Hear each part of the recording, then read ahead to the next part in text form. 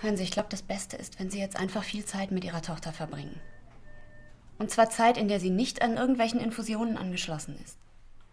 Aber ich muss doch was tun, das müssen Sie doch verstehen. Frau Wolf, der Ethikrat hat abgelehnt, Kinder unter zehn Jahren in meiner Studie zu behandeln. Und zwar aus gutem Grund. Ich habe bereits ein Kind verloren. Zweites Mal überstehe ich das nicht.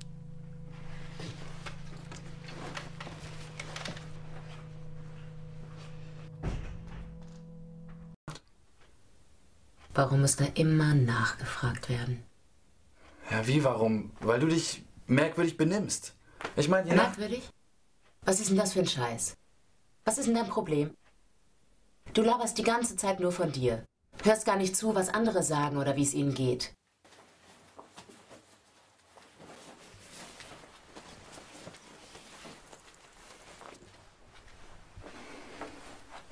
Weißt du was?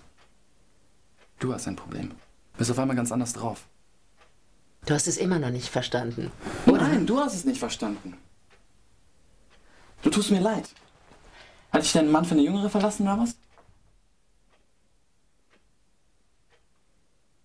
Du warst eine Wette. Du kleiner Wichser. Du hast Lust auf knackige Erdbeeren? Dann komm rein und bring die Sahne mit. Ich erfülle deine Wünsche. Besuch mich im Chat.